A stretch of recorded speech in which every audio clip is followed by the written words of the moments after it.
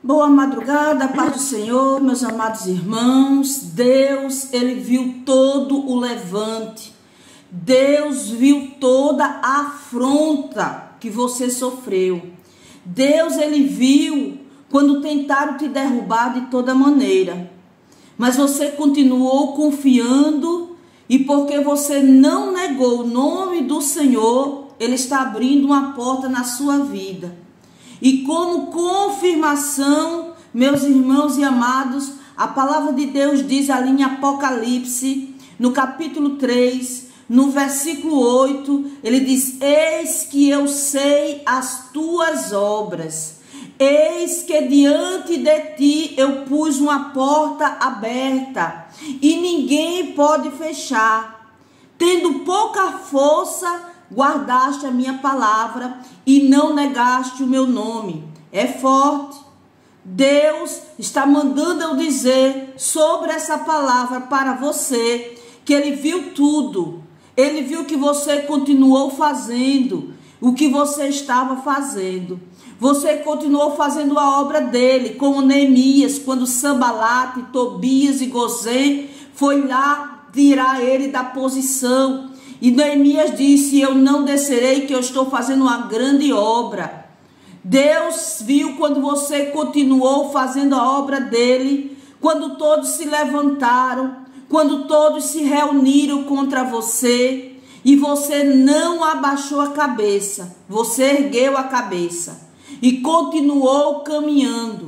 E o Senhor manda confirmar para você uma grande porta que ele abriu para você. Você recebe nesta madrugada, você recebe essa palavra Deus está guardando você. Deus está abençoando você. Obrigada, meu irmão, minha irmã, a todos vocês por me ter me, me dar esse prazer nas madrugadas, estar aqui junto comigo em oração, né? dar esse prazer, dar essa honra de poder estar aqui juntos, lado a lado, falarmos com Deus, juntos invocarmos o nome do Senhor. Então vem comigo neste momento em oração, vamos falar com Deus, porque a palavra do Senhor diz que aqueles que buscam o Senhor, eles serão respondidos. Jesus disse: "Clama a mim, responder-te-ei e anunciar-te-ei coisas grandes e firmes que você não sabe. Deus tem presente para a sua vida. Deus tem presente para você. Deus tem porta aberta nessa situação, mas para isso é necessário uma busca, é necessário uma devoção a Deus, um princípio de clamar ao Senhor, um princípio de invocar a Deus. Então feche os teus olhos, porque é momento da gente invocar ao Senhor em espírito e em verdade, na beleza da santidade do nosso Deus. Então vamos falar com Deus nesta hora. Salmo 91, na sequência eu intercedo por nós. Aquele que habita no esconderijo do Altíssimo, a sombra do Onipotente descansará.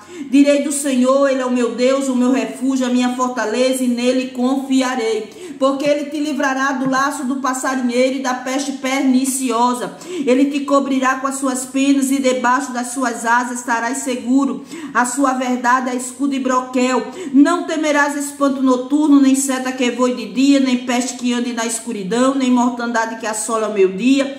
Mil cairão ao teu lado, dez mil à tua direita, mas tu não serás atingido.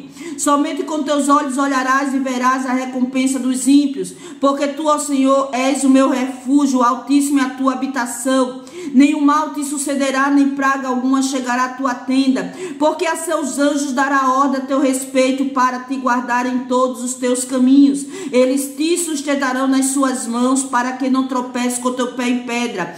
Pisarás o leão e a áspide, calcarás aos pés o filho do leão e a serpente. Pois que tão encarecidamente me amou, também eu o livrarei, poluei no alto retiro, porque conheceu o meu nome. Ele me invocará e eu lhe responderei. Estarei com ele na angústia, livrá-lo-ei e o glorificarei. Dar-lhe mudança de dias e lhe mostrarei a minha salvação.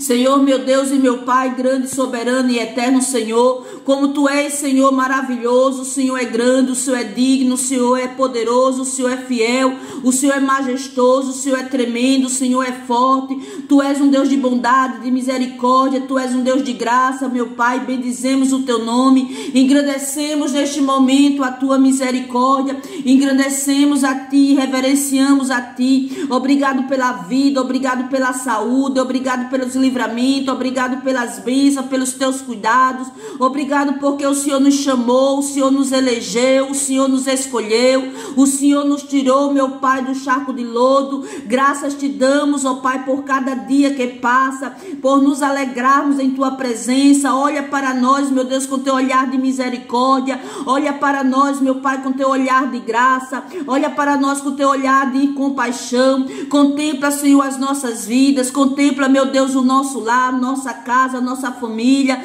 O Senhor é poderoso na batalha, porque ainda que sejamos pequenos, ainda que sejamos falhos, ainda assim o Senhor nos escolheu, o Senhor nos elegeu, e nós sabemos que quando o Senhor chama, o Senhor capacita, quando o Senhor chama, o Senhor, meu Deus, não desampara. Senhor, neste momento, Pai, em nome de Jesus Cristo, vem ajudar esta pessoa, vem ajudar este ouvinte, vem ajudar esse inscrito, esse membro, esse ofertante deste canal, vem ajudar essa pessoa que está fazendo seus pedidos de oração nessa madrugada, porque às vezes, Senhor, a gente se sente tão desanimado, a gente se sente sem força, sem está, se sente até abatido, se sente caído, e esta pessoa que às vezes o Pai está aqui, mas está se sentindo, ó Pai, como se não fosse nada, essa pessoa que se sente, ó Pai, como se estivesse até mesmo desamparado, desamparada por Ti, meu Deus, em nome de Jesus Cristo, eu te peço, ó Pai, Tua compaixão, te peço, Pai, a Tua graça, nós estamos aqui diante de Ti, uma só voz, em uma só oração, em um só clamor, as Tuas palavras são maravilhosas, as Tuas palavras são tremendas, as Tuas palavras são profundas, fala comigo, fala conosco, nesta madrugada, que o coração triste se alegre, que o coração, meu Pai, angustiado seja fortalecido. Tu és Deus de mistério, Tu és Deus de coisas grandes, Tu és Deus de coisas grandiosas. A Tua palavra é verdadeira, a Tua palavra vai de geração em geração, a Tua palavra é fonte de vida, uma fonte de paz, uma fonte de alegria. Preenche, Senhor, o nosso lar, preenche com as Tuas bênçãos, preenche com a Tua presença, com a orla dos Teus vestidos, preenche, ó Pai, com a Tua vitória, Senhor. E aquele que está, meu Pai, precisando de livramento, dá livramento. Aquele que precisa de alegria, traz alegria. Aquele que precisa de salvação, entra com salvação. Senhor, livra, meu Pai, com a palavra que sai dos teus lábios. Livra, Senhor, com a palavra que sai da tua boca. Livra, Senhor, os nossos caminhos. Livra o caminho deste irmão, desta irmã. São caminhos como muitas das vezes nós nos desesperamos, com tantos desafios. Nós não nos desampare com tantas coisas, ó Pai, que vem às vezes para tentar nos calar, para tentar nos abater, para tentar nos desanimar. Mas quando nós lembramos da tua palavra, lembramos que o Senhor não desampara aqueles que confiam no Senhor, o Senhor não desampara aqueles que temem a ti, o Senhor não desampara aqueles que guardam a tua palavra. Não deixe essa pessoa desamparada, não deixe essa pessoa olhar para trás, porque foi o Senhor que nos disse que aquele que lança a mão no arado, ele não pode olhar para trás. Senhor, aquele que olha para trás, a tua alma não tem prazer nele. Nós queremos, ó Pai, te agradar. Nós queremos, meu Deus, te glorificar. Senhor, nós queremos em tudo te engrandecer. Tu és o nosso Deus, tu és o nosso Pai. Dá-nos o grande livramento.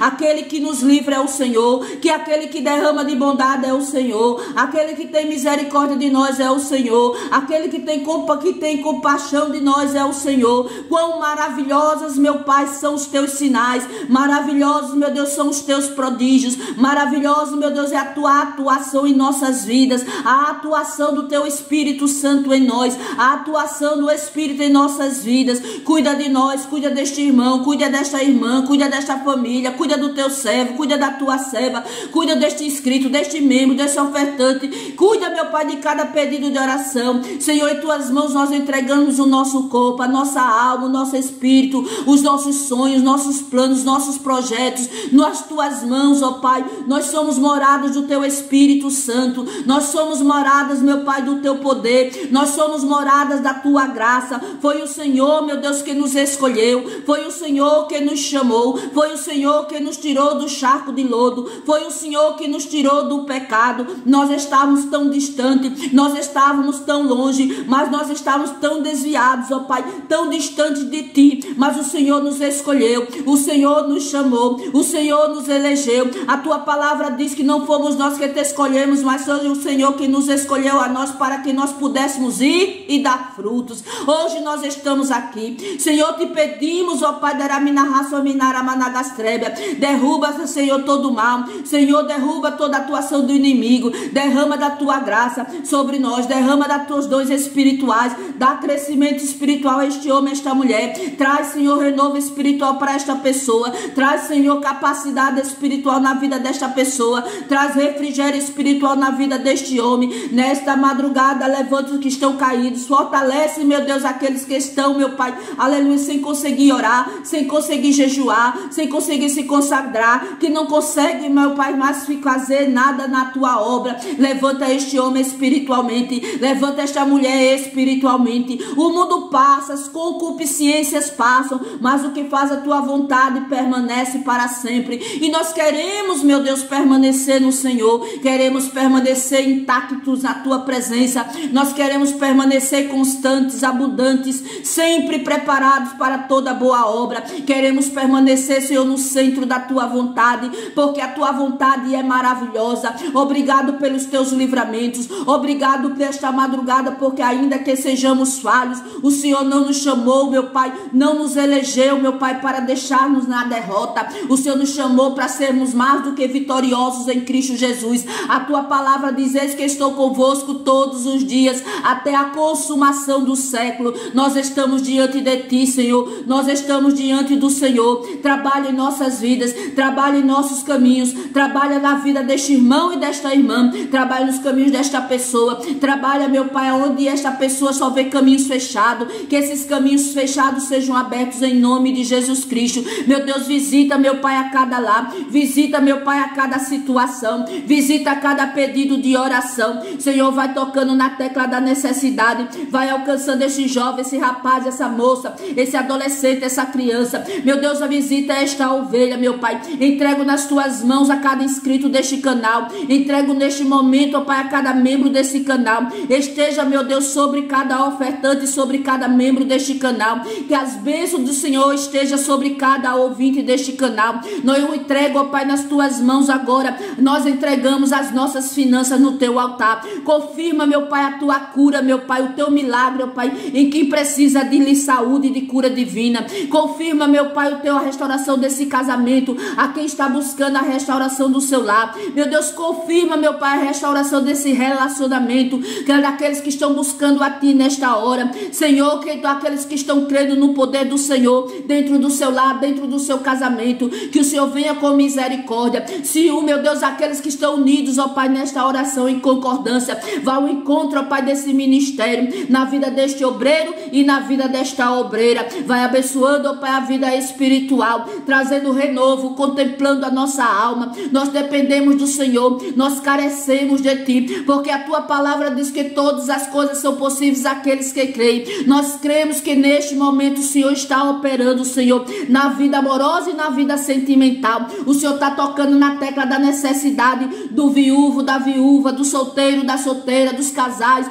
dos divorciados. Meu Deus, vá ao encontro dos nossos familiares, os de perto e os de longe, os nossos filhos, os nossos cônjuges, até esse cônjuge que pediu o divórcio. Traz a livramento, traz a libertação, a livramento e a libertação das más companhias, das más influências, meu Pai. Meu Deus, apresento a Ti, meu Pai, a cada um deles, para que o Senhor livre e liberte das bebidas alcoólicas, livre e liberte dos vícios dos jogos de azar, livra e liberta do cigarro e da cachaça, livre e liberta, meu Pai, das as drogas sintéticas e naturais. Livra e liberta, Senhor, dos pecados sexuais. Senhor, toma nas tuas mãos os nossos filhos, toma nas tuas mãos os nossos netos, toma nas tuas mãos as nossas noras, nossos genros, os nossos maridos, as esposas. Toma esse pai, essa mãe, toma esta ovelha, este inscrito, toma essa pessoa que está em oração, nesta madrugada pela sua família, nesta madrugada por uma porta aberta, nesta madrugada carecendo de ti. Senhor, controla o emocional, da saúde mental a quem precisa. Repreenda a depressão, a ansiedade,